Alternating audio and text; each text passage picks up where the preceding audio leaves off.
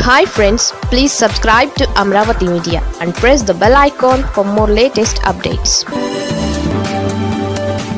Chandrababu వంద రోజుల హామీ ఏమైంది?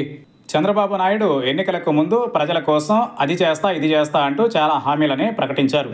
అలాగే ప్రభుత్వంలోకి వచ్చిన తరువాత అంతకుమించి చాలా ఆర్భాటంగా మరికొన్ని మాటలు కూడా వల్లించారు.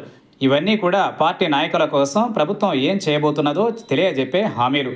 మూడు పార్టీలు కలిసి అధికారంలోకి వచ్చిన తరువాత నామినేటెడ్ పోస్టుల గురించి ఆ అన్ని పార్టీల నాయకుల్లోనూ చాలా చాలా ఆశలున్నాయి. వారి ఆశలను మరింత పెంచేలాగా చంద్రబాబు నాయుడు పదవుల పందేరానికి వంద రోజుల డెడ్ లైన్ చెప్పుకుంటూ వచ్చారు. కానీ ఆ విషయంలో మాట నిలబెట్టుకోలేదు. ఇప్పుడు పార్టీ నాయకులలో నిరాశ రాజ్యమేలుతోంది. పార్టీలలో ఎమ్మెల్యేలుగా గెలిచేవారు కొందరే ఉంటారు. వారిని మించి డబ్బు ఖర్చు పెట్టేవారు పార్టీ కోసం కష్టపడేవారు ఇంకా అనేక మంది ఉంటారు. అలాంటి వారిలో కొందరు కాంట్రాక్ట్ల రూపేణా లబ్ధి ఆశించవచ్చు.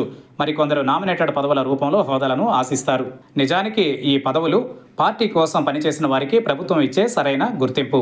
కానీ పదవులకు అర్హులను ఎంపిక చేయడంలో మాత్రం చంద్రబాబు నాయుడు ఇంకా మేనమేషాలు లెక్కిస్తూనే ఉన్నారు.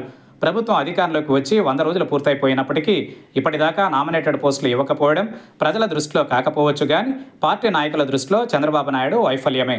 ఐదేళ్ళుగా అధికారానికి హోదాలకు దూరంగా ఉన్న తెలుగుదేశం నాయకులు ఔరౌరమని ఉన్నారు. పదవుల కోసం ఎగబడుతున్నారు. పార్టీ గెలిచిన రోజు నుంచి అధిష్టానం మీద పదవుల కోసం ఒత్తిళ్ళున్నాయి.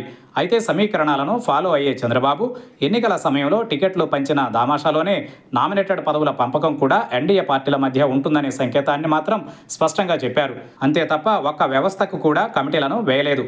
ప్రధానంగా టీటీడీ వంటి వాటికి చాలా పోటీ ఉంటుంది. అయితే ఏ ప్రకటన కూడా ఇప్పటికీ రాలేదు.